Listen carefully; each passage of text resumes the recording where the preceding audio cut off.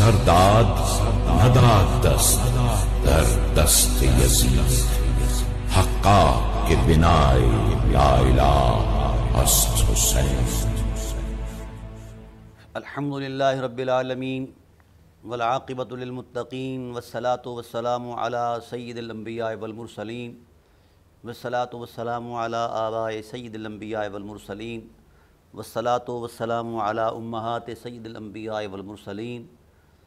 वसलात वसलाम लम्बिया इबलमसलीम ला सैमन अफ़लबशर बादलम्बियाबिलकौलगालिब खैरनासरीन सैदना अबू तालिब अलैहिस्सलातु वसलाम व अली व असहाबी व अहल बैत ही व इतरत ही व अशीरती अजमाइन। अम्माबाद फ़ौज़बिल्लिमिनशैतरजीम बसमीम अलम तरकई फ़दरबल्ला मसलन कली मतन तोय वतन का शजरतिन तय वतिन असलहा साबितन वफ़रहा फ़िसमा तुती उकलहा कुल्लिन बेदन रबहा व यदरिबुल्लामसालनासमतकरून सदकल्ला मौलानाज़ीम वबल्लना रसूलनबीज़ीम रऊफ़ुररहीम इन वमलाइकतः युसलून अलनबी या युहल्लिन आमनू सल्लु वसलम तस्लीमा।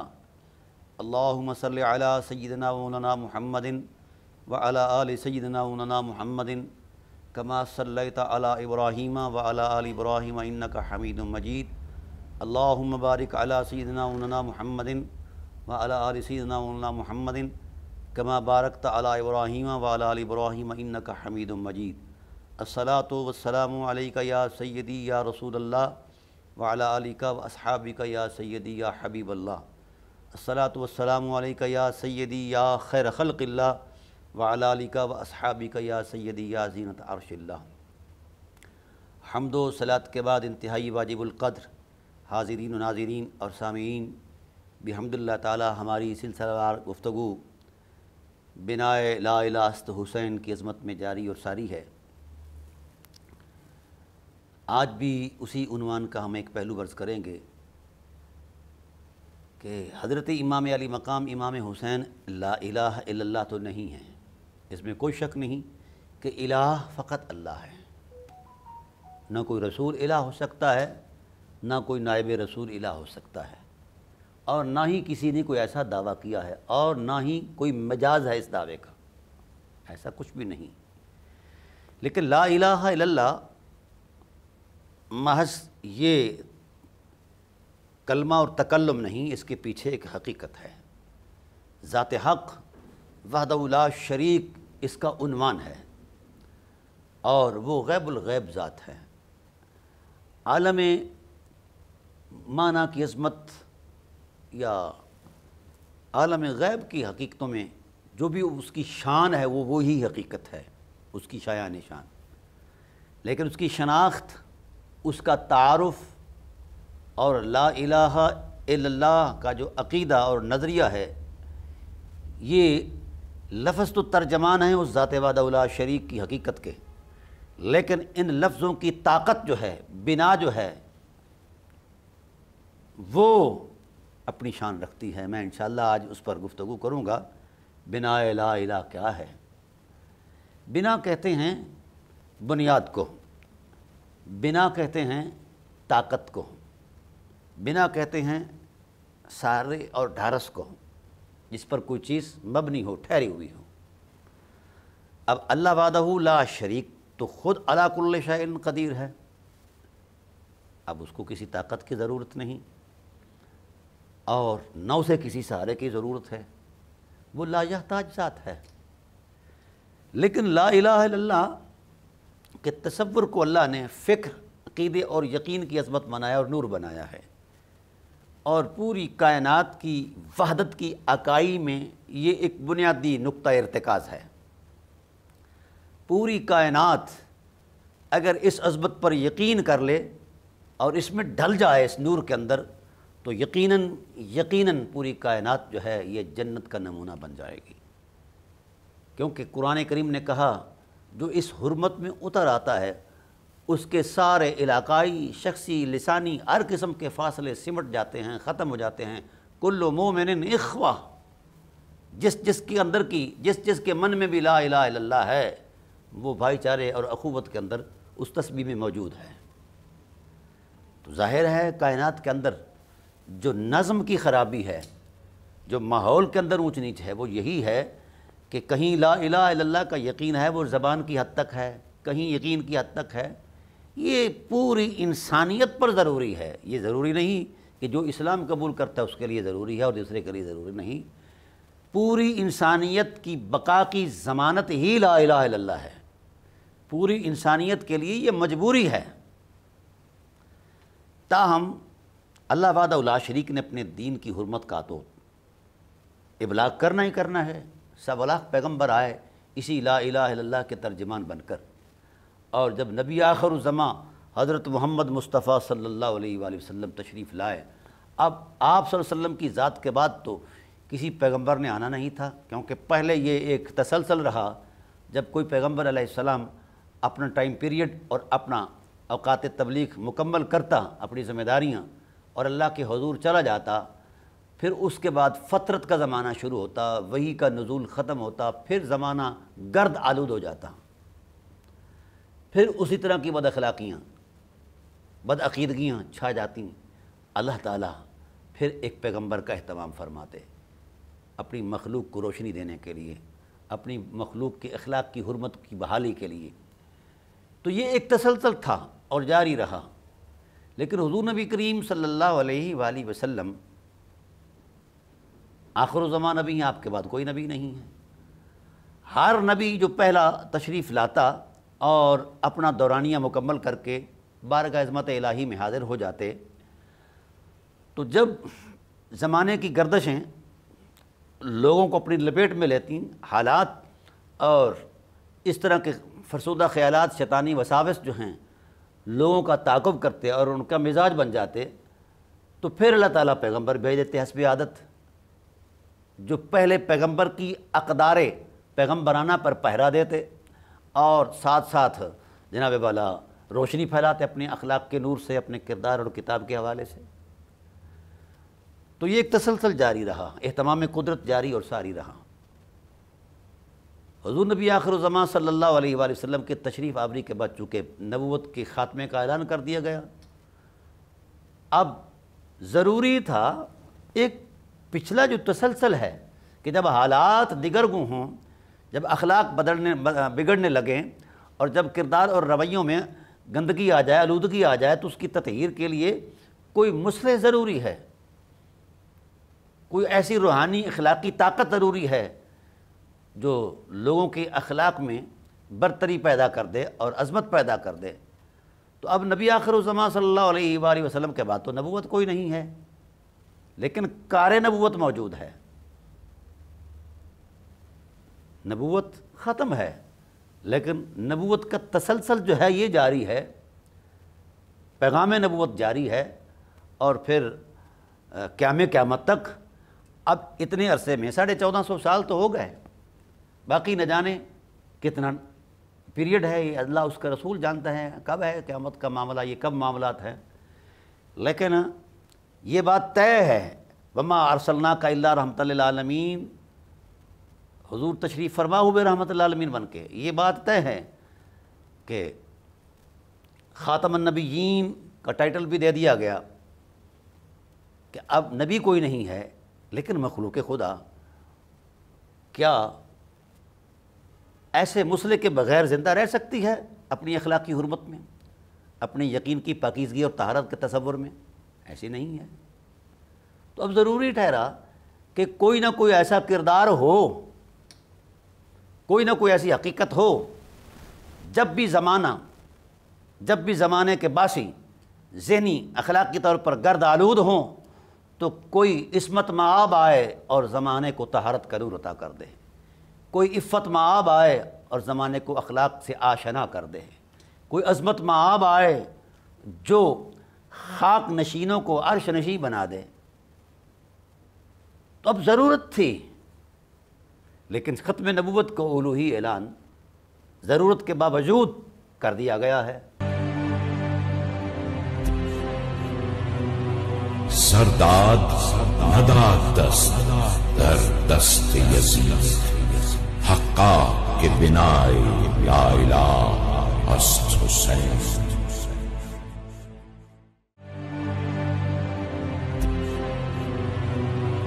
सरदाद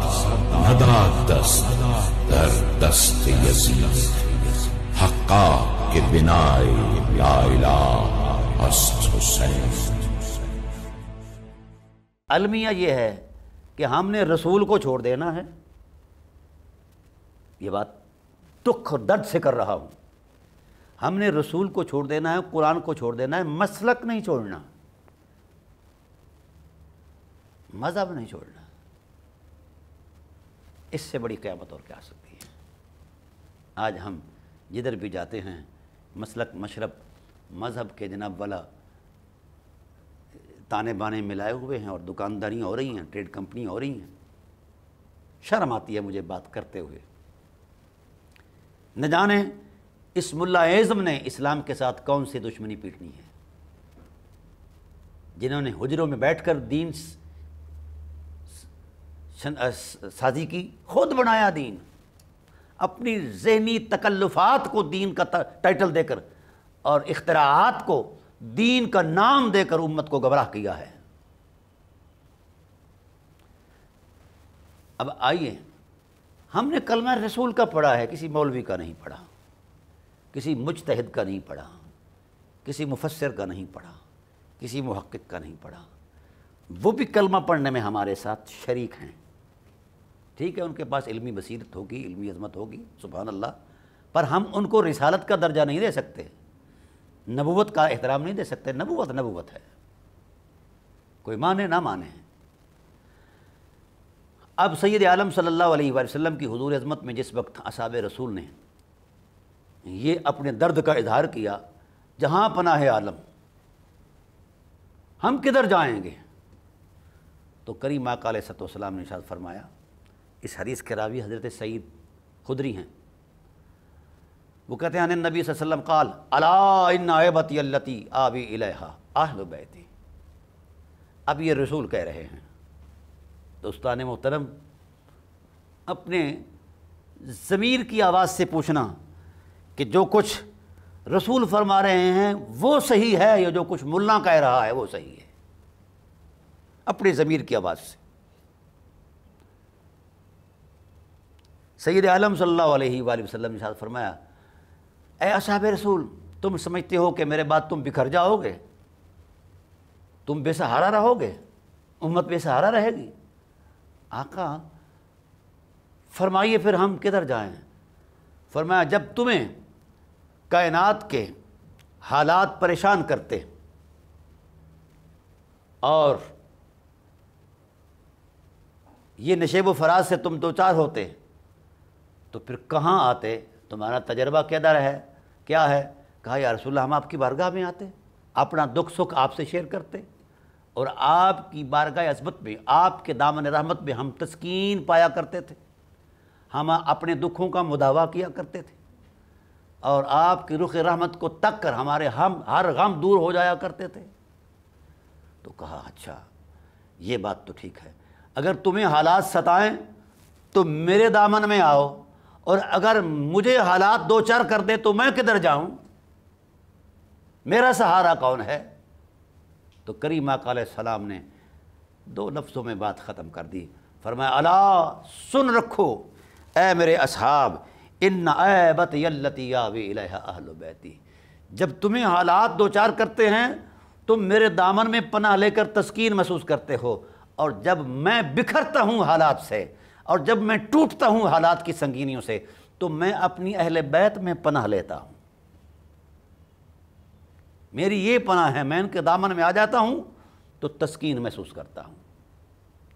मैं आलमीन की पनाह हूँ, और ये मेरी पनाह है। अला इन ऐबती अल्लती आवी बैती। नाजरी ने कराम, ये जुमला अगर समझ आ गया है नबूवत का तो फिर इस पर रुक जाइए। फिर इधर उधर ना झांकिए।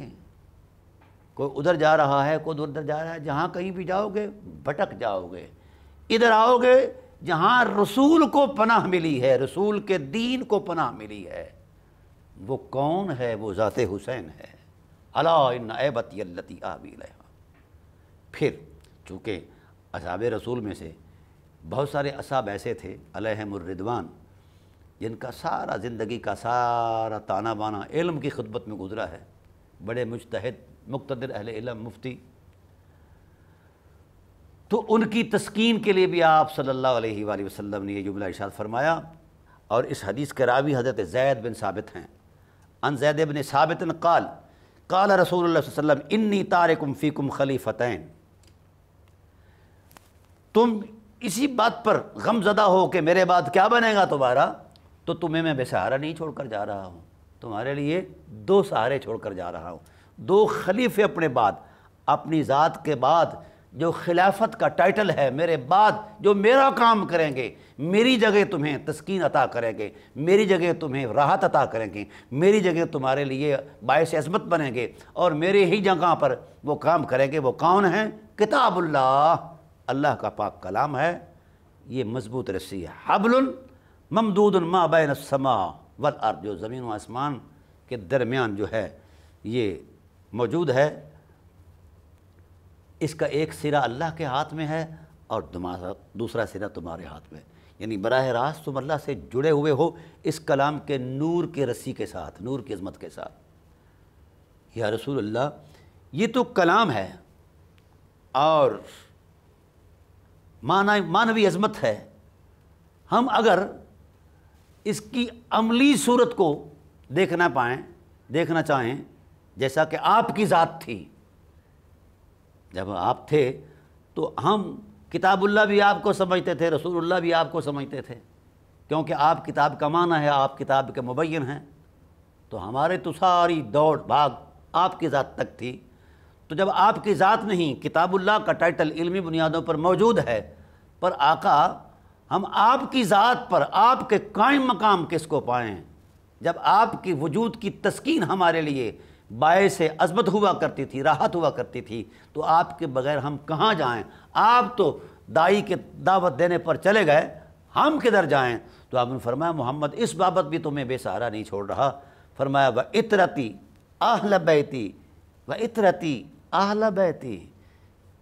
है मेरे असहाब, मैं यहाँ रोकूँगा बात को। ये लफ्ज़ों का जोड़ तोड़ ना समझना। ये नबूत के अल्फाज हैं जो वही की रोशनी में चल रहे हैं। आप सैद आलम वसल्लम ने खुद लफ्ज़ों में अपने असहाब से फरमाया, उनमें सिद्दीक अकबर भी मौजूद है, फ़रूक आज़म भी मौजूद हैं, उस्मान गनी भी मौजूद है, तलहा ज़ुबैर भी मौजूद हैं। हर बड़े से बड़ा सहाबी मुख्तर से मुख्तर शख्सियत उन तमाम मुखातबीन में मौजूद है। और ये ये इरशाद आपने कई खुतबात में इरशाद फरमाए ये अल्फाज। कितना बड़ा हसास उनवान है। असहाब से बयान फरमाया कि अगर दीन चाहते हो, खुदा की मारफत चाहते हो, और बकाए हयात की ज़मानत चाहते हो, निजात की ज़मानत चाहते हो तो फिर जुड़ जाओ अल्लाह की किताब से और मेरी अहले बैत से।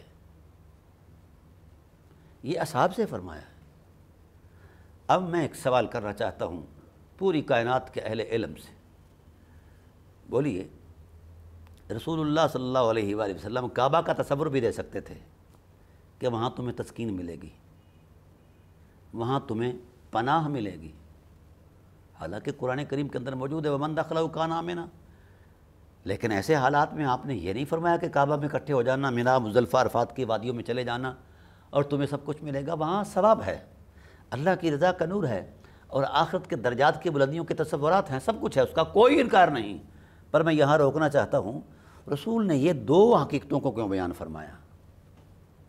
किताबुल्ला वतरती हालाँकि तमाम असाब रसूल अलहमरिदवान किताबुल्ला सीख चुके थे।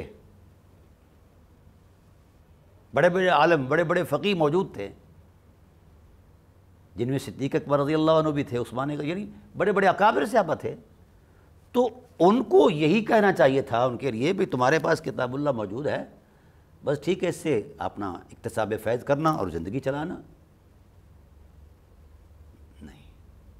रसूल जानते हैं मकाम हुसैन क्या है। रसूल जानते हैं मकाम जहरा क्या है। रसूल जानते हैं कि मकाम अलीमरतज़ा क्या है। इसलिए इस तकदस की हरबत में आप सल्लल्लाहु अलैहि ने किताबुल्लाह के साथ जिस हकीकत का बयान फरमाया, वो अहल बैत हैं, वो हसन हैं, वो हुसैन हैं, वो फ़ातमत ज़हरा हैं, वो हैं। तो उनको कुरान के साथ क्यों मिलाया?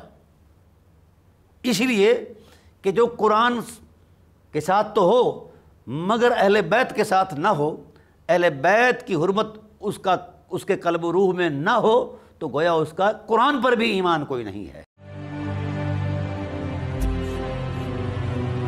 सरदाद दस्त दर दस्त यजीद हक्का के बिनाए या इलाह अस्त हुसैन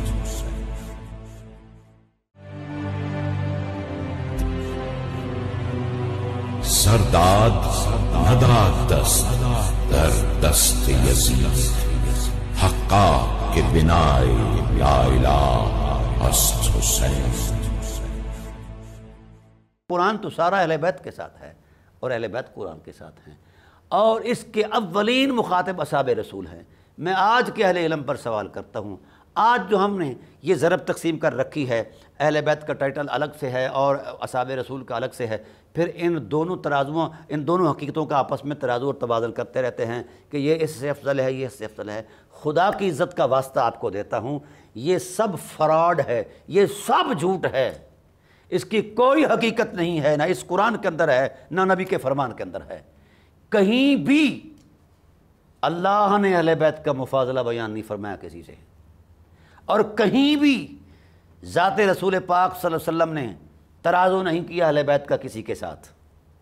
ना अहल बैत का किसी के साथ, ना किसी का अहल बैत के साथ। जब खुदाए जलाल ने उनके तकदस और तशखस को अलग से एक असमत और एक मकाम दिया है, कुरान किसी इमाम पर नाजल नहीं हुआ, कुरान इमामुलमरसलीन पर नाजल हुआ है।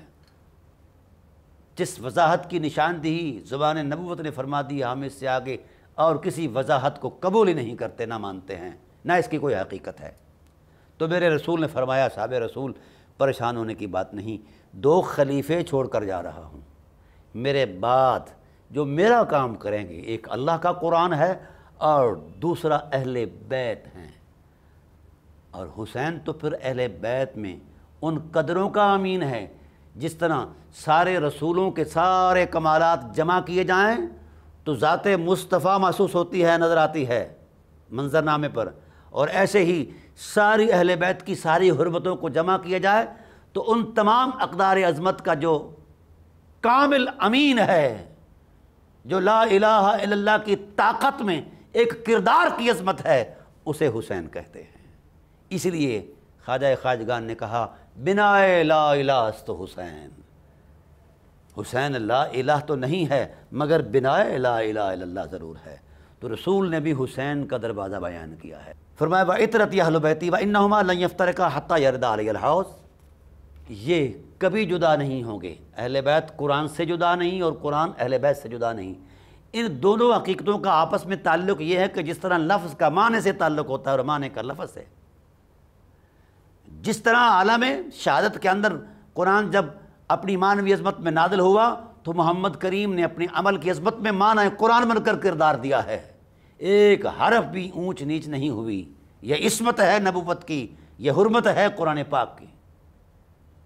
तो सेम ऐसे ही हजूर की ज़ात के बाद कुरान किन से जुड़ा है और कौन कुरान से जुड़े हैं? वो अहल बैत हैं। वो हुसैन की ज़ात हैं। वो हुसैन वाला, हुसैन अलैहिस्सलाम की ज़ात वाला सिफ़ात हैं। आइए। हजूर नबी करीम वसल्लम ने एक हसास बयान भी दिया है।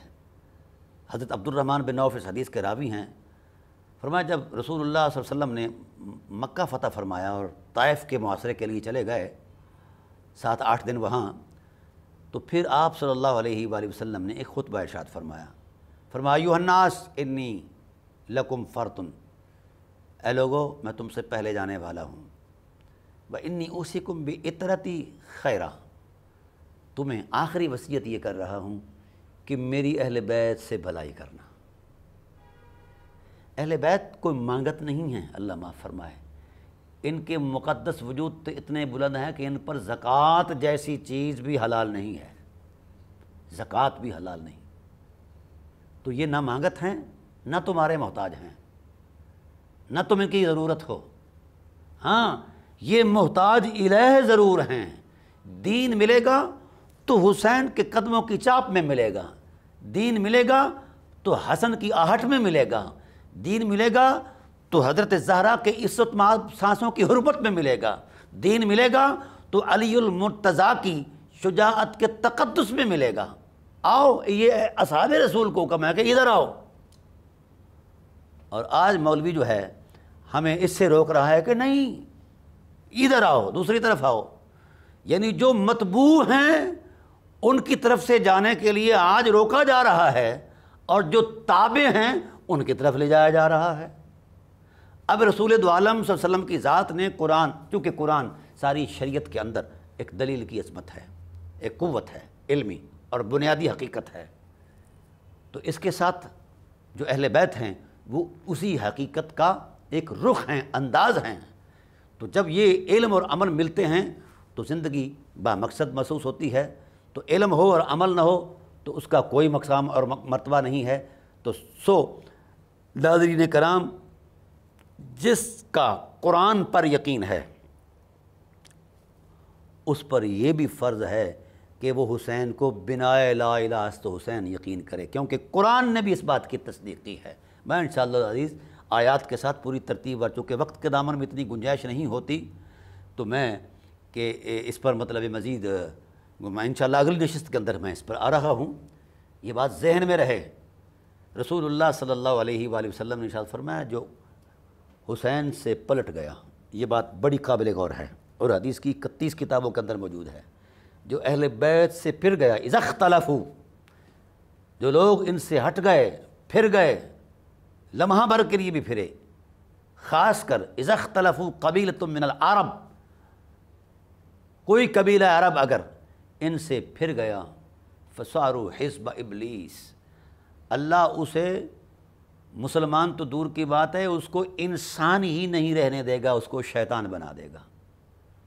ये एक कायनाती और आफाकी ऐलान है नबूवत का।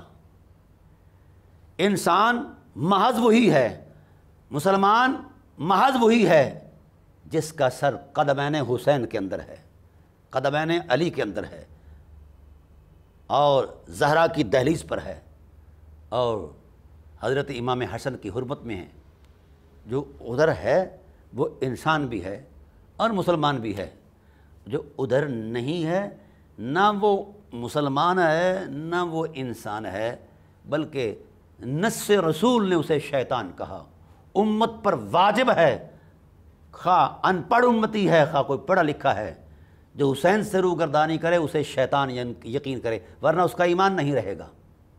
क्योंकि रिसालत के फरमान से इनहराफ करना यकीन की बुनियाद को उखेड़ कर फेंक देना है। अजमत इंसान अजमत ईमान से दूर हो जाना है।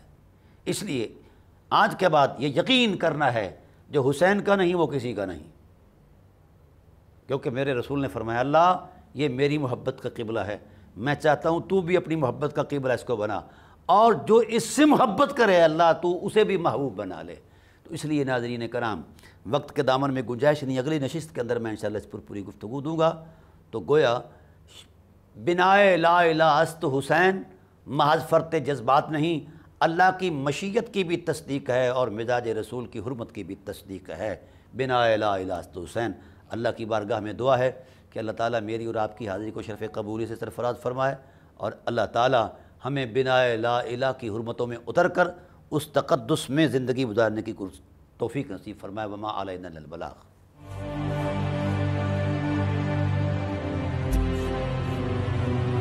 सरदाद दस्त हक्का के बिनाए या इला अस्त हुसैन